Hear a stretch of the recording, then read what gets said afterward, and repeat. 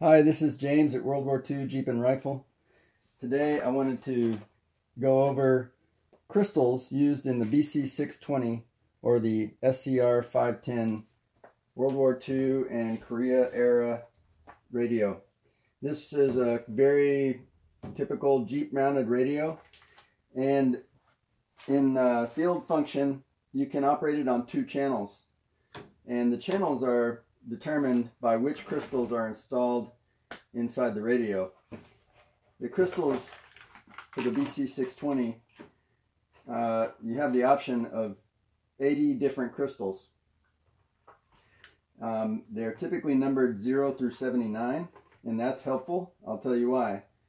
This 0 crystal, its frequency is 5.7067 megahertz but it's part of an oscillator circuit that uh, when crystal number zero is in operation, the radio is transmitting and receiving on 20.0 megahertz.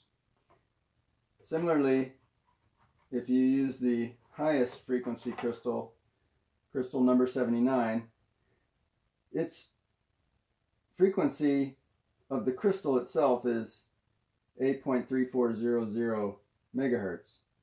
But when crystal 79 is in operation in the radio, you are transmitting and receiving at 27.9 megahertz. So the trick is 0 is 20.0, 1 is 20.1, 2 is 20.2, etc. There's a 100 kilohertz spacing between all the channels. And when you get to 79, it's 27.9. So you just add 20 to the crystal number, and that's the megahertz frequency you're transmitting on. I'll show you where the crystals go inside the radio.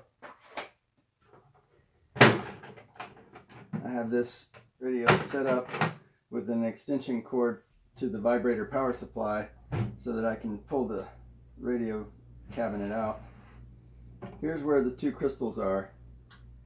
And I just happen to know that I'm using crystal 0 for channel A and crystal 79 for channel B. So my two frequencies of operation are 20 and 27.9 megahertz. So if you decide that you want to be on a different frequency with this radio, you can change the crystal out. But it's very important, there's a preset procedure to tune the oscillators, mixers, and other circuits for each frequency. I'll uh, walk you through that in a separate video. Anyway, hope you learned something about BC620 crystal configurations, and we'll see you next time.